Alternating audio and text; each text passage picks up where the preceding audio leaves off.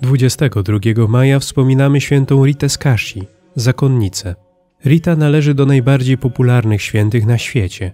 Urodziła się około roku 1380 w rodzinie ubogich górali w Rocca Porena, niedaleko Kashi, jako jedyne ich dziecko. Według podania miała być dzieckiem wymodlonym przez pobożnych rodziców. Na chrzcie otrzymała imię Małgorzata. Rita jest zdrobnieniem tego imienia. Na życzenie rodziców wyszła za mąż. Związek ten był jednak bardzo nieudany. Porywczy, brutalny mąż był powodem wielu jej dramatów. Rita znosiła swój los z anielską cierpliwością. Mąż Rity zginął zabity w porachunkach zwaśnionych rodów. Rita była matką dwóch synów, z którymi miała spore kłopoty wychowawcze. Bojąc się, by nie kontynuowali wandety, prosiła Boga, aby raczej zabrał ich ze świata, niż mieliby się stać zabójcami. Bóg wysłuchał tej prośby.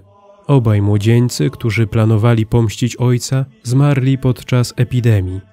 Rita jako trzydziestokilkuletnia wdowa wstąpiła do zakonu Augustianek, które miały swój klasztor w Kashi. Ponieważ była analfabetką, została przyjęta do sióstr konwersek, które były przeznaczone do codziennej posługi w klasztorze.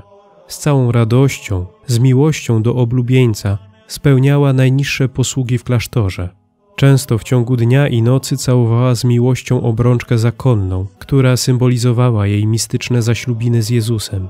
Miała szczególne nabożeństwo do męki Chrystusowej. Widziano ją nieraz, jak leżała krzyżem, zalana łzami. Kiedy pewnego dnia kaznodzieja miał kazanie o męce pańskiej, prosiła gorąco Jezusa, by dał jej zakosztować męki chociaż jednego ciernia, który ranił jego przenajświętszą głowę. I tym razem została wysłuchana. W czasie modlitwy poczuła nagle w głowie silne ukucie. Na tym miejscu wytworzyła się bolesna rana, która zadawała jej nieznośne cierpienie przez 15 lat, aż do chwili śmierci.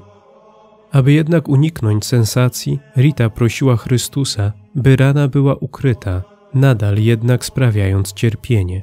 Tak się też stało. Rita odznaczała się posłuszeństwem, duchem modlitwy i cierpliwości.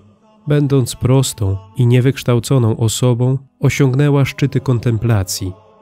Zmarła na gruźlicę 22 maja 1457 roku w swoim klasztorze w Kashi. Tam jej nienaruszone rozkładem ciało spoczywa do dnia dzisiejszego. Grób w jej sanktuarium jest miejscem tłumnych pielgrzymek. Sława świętości zaczęła ściągać do jej relikwii wielu pielgrzymów. Przy grobie świętej Rity działy się nadzwyczajne rzeczy, które napełniły sławą tamtejszy klasztor. Kiedy po kilku latach wybuchł w kościele gwałtowny pożar, mimo że spalił się cały kościół, cyprysowa trumna z ciałem Rity pozostała nietknięta. Zaczęły się mnożyć wizerunki i modlitwy do służebnicy Bożej. Papież Urban VIII w roku 1628 zatwierdził jej kult. Jednak jej uroczysta kanonizacja odbyła się dopiero 24 maja 1900 roku. Dokonał jej papież Leon XIII, nazywając świętą Ritę drogocenną perłą Umbrii. Święta Rita jest patronką w sprawach trudnych i beznadziejnych. Jest opiekunką wielu dzieł charytatywnych i bractw. Również w Polsce kult świętej Rity jest bardzo żywy. Szczególnym jego miejscem jest klasztor sióstr Augustianek w Krakowie, gdzie w kościele świętej Katarzyny przechowywane są relikwie świętej Rity. W ikonografii święta Rita przedstawiana jest w stroju zakonnym, w czarnym habicie i białym welonie, z cierniem na czole – jej atrybutami są dwoje dzieci, krucyfiks, cierń, flaga, pszczoły oraz róża. Módlmy się.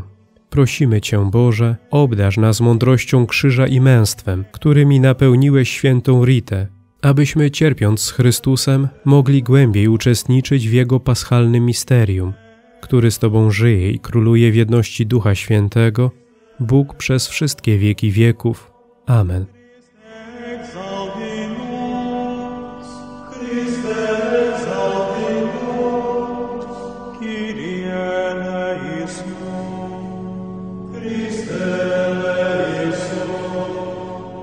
Kyrie